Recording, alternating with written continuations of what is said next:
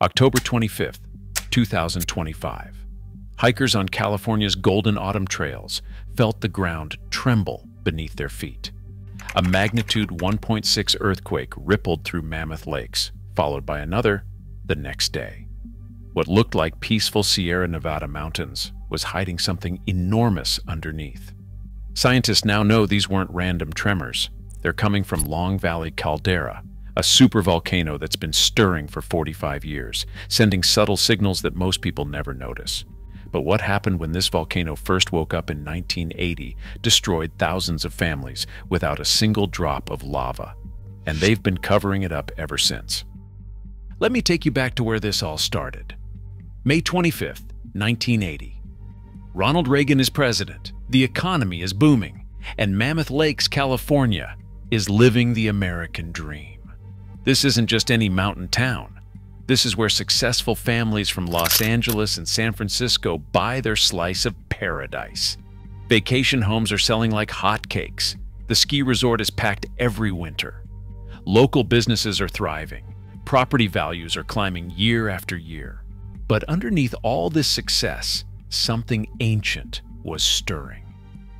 Mammoth Lakes sits on top of Long Valley Caldera, a supervolcano that's 20 miles wide and formed from an eruption 760,000 years ago that literally reshaped the western United States. We're talking about a blast that shot 650 cubic kilometers of ash across the continent. So when the ground started shaking on May 25th, families getting ready for breakfast felt their houses sway like ships in a storm. Four massive earthquakes, magnitude 6, hit within hours of each other. But here's what made scientists' blood run cold. These weren't random earthquakes. They were happening right along the edge of that ancient supervolcano crater. When U.S. Geological Survey teams rushed to the scene with their instruments, what they found beneath the ground made them realize this sleepy giant was waking up. The resurgent dome, that's the bulge of land sitting directly over the magma chamber, had swelled 25 centimeters in just a few months. Nearly 10 inches of mountain literally growing upward. Seismic equipment was detecting swarms of smaller earthquakes every single day. The ground was heating up. Gas emissions were increasing. Every scientific indicator pointed to the same terrifying conclusion. Long Valley Caldera was entering a period of unrest for the first time in recorded history but nobody understood what was really about to be destroyed. Because the most devastating eruption wasn't going to come from underground. It was going to come from Washington, D.C. For two years, scientists quietly monitored the situation. They watched the ground swell. They measured the earthquakes. They analyzed gas samples. And in 1982, they made a decision that would haunt this community for decades. The U.S. Geological Survey issued what they called a Notice of Potential Volcanic Hazards for Long Valley Caldera. This single piece of paper became an economic nuclear bomb that obliterated everything these families had worked for. Within days of the announcement, property values crashed 30 to 40% overnight. If you owned a $200,000 vacation home, and remember this is 1982 money, you just lost $60,000 to $80,000 in a single week. That's like losing a quarter million dollars today. Banks immediately stopped approving loans for anything in Mammoth Lakes. Insurance companies started canceling policies or jacking up rates to impossible levels. Businesses that depended on tourism watched their reservation books empty out as news media ran headlines about California's ticking time bomb. Local businessman Glenn Thompson lived through this nightmare. He watched his property investments turn into worthless paper practically overnight. Hotels sat empty during peak ski season, restaurants laid off workers, gift shops closed their doors. And here's the kicker, the volcano didn't erupt. Not in 1982, not in 1983, not ever. The warning that was supposed to save lives instead destroyed them. Families lost their homes, their businesses, their entire life savings, not to lava, but to fear. Mammoth Lakes fought back the only way they knew how.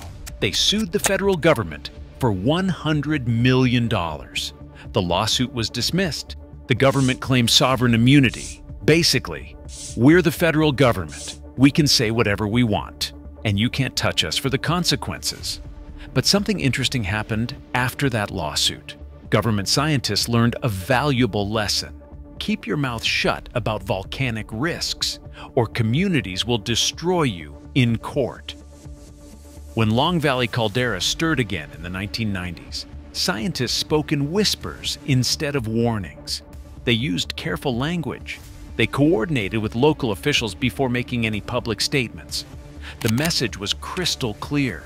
Economic stability matters more than complete transparency about geological risks. But the most brilliant piece of this cover-up was still to come. By the mid-1980s, it was clear that Long Valley caldera wasn't going back to sleep. Scientists were still detecting earthquake swarms. The ground was still rising. Gas emissions were increasing. So local emergency officials did what they were supposed to do. They built an emergency evacuation route, a road specifically designed to get thousands of people out of the caldera area quickly if the volcano showed signs of imminent eruption. But here's the problem. You can't call it an evacuation route because tourists don't vacation in places that need evacuation routes. So they renamed it the Mammoth Scenic Loop. Think about that for a minute. A road built specifically for escaping volcanic death was rebranded as a tourist attraction. This isn't just clever marketing, and this is systematic deception about ongoing danger. Tourists drive that road today, taking selfies and enjoying the mountain views, completely unaware they're traveling along an escape route designed for fleeing a volcanic disaster. But while they were busy hiding the evacuation route in plain sight, the volcano was providing plenty of evidence that the danger was real and ongoing.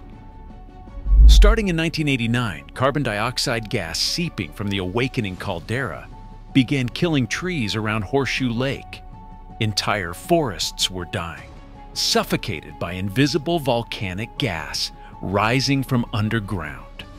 The dead trees are still there today. The gas concentrations can be deadly to hikers who wander into low-lying areas where the heavier-than-air carbon dioxide accumulates, but you won't find dramatic warning signs about volcanic gas dangers. Instead, there are subtle notices about hazardous tree conditions, and reminders to stay on designated trails. The real risk is downplayed, disguised, and minimized. This pattern of concealment goes far beyond one small California town. After the economic disaster of 1982, volcanic monitoring agencies across the United States fundamentally changed how they communicate with the public. Gone are the stark warnings and emergency notices. Instead, we get color-coded alert systems that require a geology degree to understand. Officials coordinate with local business leaders before releasing information that might affect tourism or property values. And that brings us to what they're hiding from you right now, in 2025. Just three days ago, October 25, 2025, that magnitude 1.6 earthquake I mentioned at the beginning rippled through Mammoth Lakes. It was followed by another quake the next day, and another one after that. These aren't isolated events. They're part of an ongoing pattern that's been happening for 45 years straight. Since 1978, the ground inside Long Valley Caldera has risen nearly 80 centimeters. That's over two and a half feet of mountain, literally growing beneath a major tourist destination. Most volcanic monitoring agencies consider any ground deformation over 10 centimeters to be significant. Long Valley has exceeded that by eight times over.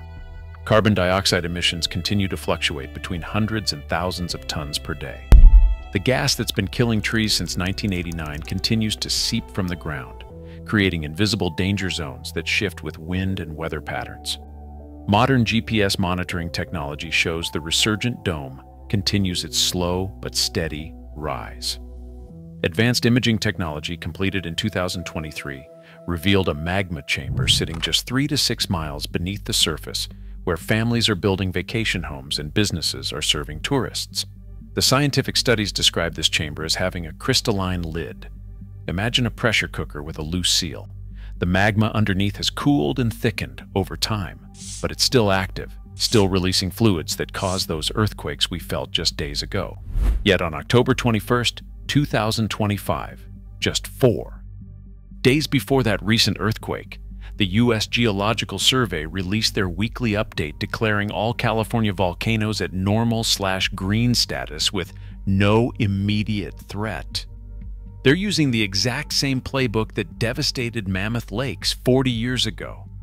Careful language designed to avoid economic panic rather than provide complete transparency about ongoing risks. You're not getting the full truth about volcanic risks because telling you the truth might hurt property values, tourism revenue, and local businesses. The same agencies responsible for monitoring these dangers are also responsible for managing the economic impact of their announcements. Those October earthquakes, the ones happening right now in 2025, are evidence that this volcano is still very much awake. But you'll only find them mentioned in technical reports and scientific databases that most people never see. Three days ago, the Earth moved beneath Mammoth Lakes. Most people didn't even notice. But now you know what those tremors really mean and why they don't want you to know. What other geological risks in your area are being downplayed to protect local economies? Subscribe for more investigations into the